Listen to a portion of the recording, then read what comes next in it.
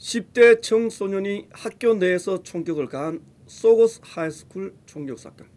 자살을 시도했던 총격범이 오늘 오후 숨졌습니다. 범행 동기는 아직도 오리무중입니다. 이원정 기자입니다.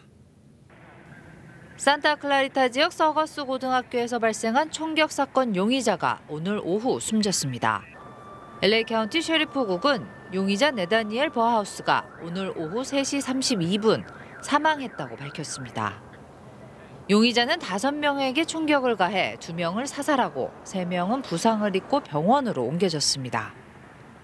총격을 받고 숨진 학생은 15살 그레이스 앤양과 14살 도미닉 블랙웰 군으로 확인됐습니다. 숨진 남학생은 풋볼팀 소속으로 매우 활발한 소년이었던 것으로 알려졌습니다. 총격 부상자들은 생명에는 지장이 없는 것으로 전해졌습니다. 학교에는 두 학생의 안타까운 죽음에 애도를 표하는 장소도 마련됐습니다. 경찰은 총격범의 범행 동기는 아직 밝혀내지 못했습니다.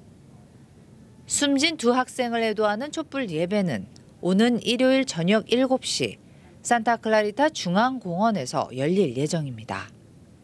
LA에서 SBS 이원정입니다.